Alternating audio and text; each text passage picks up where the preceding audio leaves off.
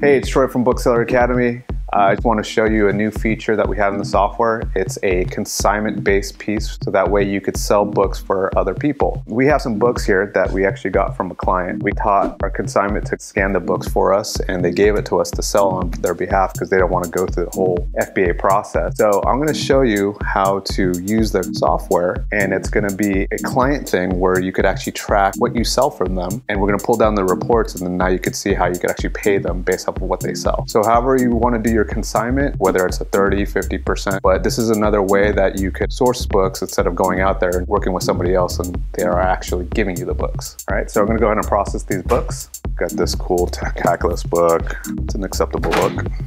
Great encounter, Just skimming through. Acceptable, completely mad. Oh, this is cool. It's good.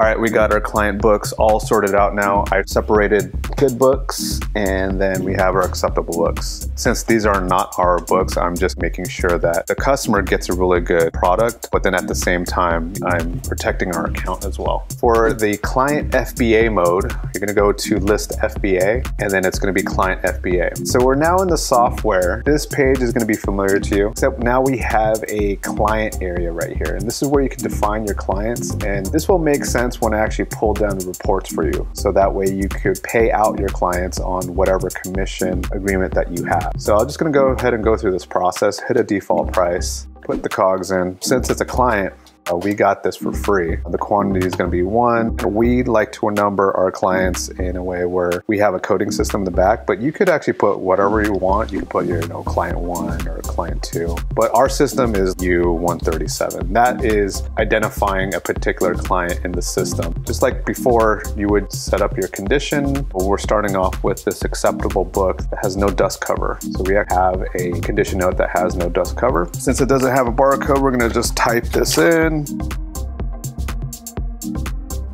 Yes, it is a good book, no dust cover. So I'm actually going with lowest SKUs merchant fulfilled, and we're gonna make this book move. You'll notice now in the SKU, the SKU has that client's ID. And I'll show you how that looks from a reporting standpoint and then how you pay out your clients when the book starts selling. I'm gonna hit submit products here. Wanna see how this client did. We'll look at the summary report. Looks like for these books, it's gonna be estimated about $317 profit. Our cost of goods is zero because we're sharing the profit. Then we're just gonna hit submit products. Right, so we got everything listed. So I'm gonna show you in the report section how much we sold for the client. If we go to analyze reports here and we go to statement analysis, we're gonna download the flat file of your last statement. If you go to payment report, it should bring up your Amazon account and bring you directly to your past settlements page. You wanna download the flat file right here.